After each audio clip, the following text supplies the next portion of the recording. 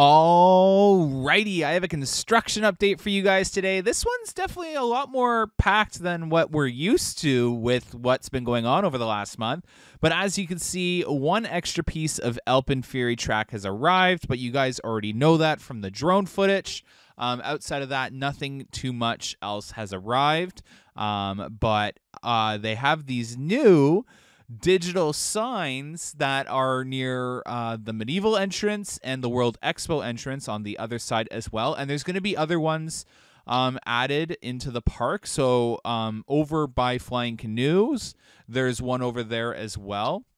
Really curious to see what they're going to have on those screens. Is it just going to be um, signs? Is it going to be an interactive park map or is it going to be some sort of interactive something? The signs are themed and different on either side, and I have a feeling Flying Canoes will be different as well. Um, but outside of that, nothing going on in terms of vertical construction. Um, I am hearing that the contracts aren't finalized for the company that is going to be actually doing vertical construction. And that's a part of the reason as to why we haven't seen any of the site offices on. We haven't seen the company even on site. So I do believe that rumor that I've heard um, about the contracts not being finalized, but they are almost finalized from what I'm hearing, and we should see vertical construction starting shortly. Um, nothing new really going on top of the mountain um, that is different from what we've already seen, especially from Wonderland social media posts. But as you can see here, a lot more trees have been removed in the area. It's starting to look a lot more bare. Now, I want to talk about what's going on in terms of construction. So, I can tell you that I know everything about the process that is going on in terms of the construction site right now. So, this work you're seeing taking place on Saturdays and Sundays is not actually construction.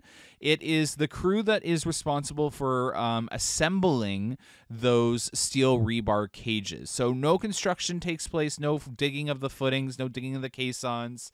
Um, it is essentially just a crew that is there to assemble all that um, steel into rebar cages. So, nothing uh, going on, but here is a really good view of all of the work that has gone on on Xtreme Skyflyer's plot of land.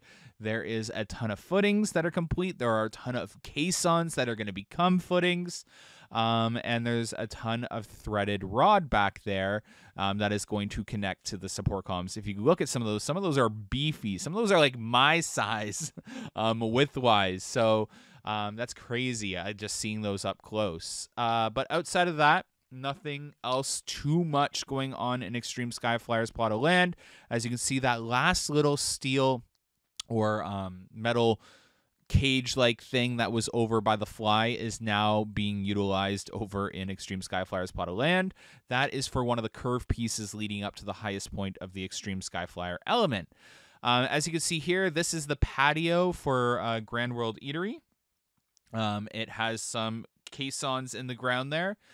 So that's really cool to see it working its way back over there. They have not done the caissons and footings in the the pathway that I'm currently standing on. They're gonna leave those, I guess, until that break after um, Halloween Haunt, or I don't know what's gonna go on, but they've skipped over those couple of footings.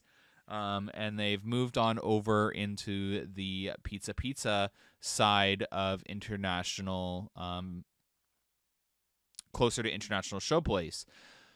So, um, not too much else outside of that. Again, um, you're going to see some crews back there. They're not working on the footings. That caisson machine is not going, um, but uh, they are assembling the rebar cages. That'll then be put into the ground from Monday to Friday.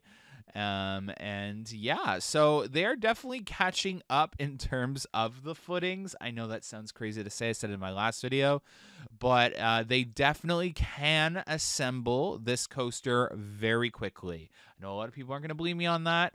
I'll eat my words if I'm wrong, but I'm being told that this coaster is going to be assembled very quickly after the very complicated process of getting all the footings into these complex areas. It's going to be a very quick prog- uh, process. So, um, yeah, here's another really cool angle of Alpenfury. So I really like this angle for showing you guys um, the overall area of Xtreme Skyflyer. It's probably the best view in the park, so hopefully you enjoy it. Um, but as you see, a lot of caissons, a lot more caissons completed than they are actual footings.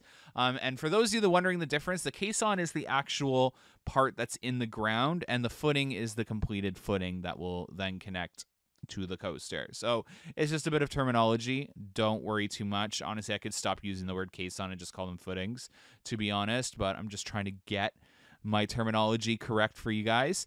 I do want to talk to you guys about something. There is potentially another construction project that is going to be happening over the off season and it involves our tolls. So there are some construction stakes and markings over in the toll booth area. It would make sense that they go to a more digital um, self service kiosk entrance into the park. Um, and hopefully that's what's going on. So we'll keep our eyes on the toll booths. Um, as that is something that could end up being really exciting. But here is that location of the other digital um, sign that'll be going up. I don't know if there's going to be others. There probably will be others, but that's the last one that I know of. Anyways, thanks so much for watching today's construction update. Have a good one. Bye.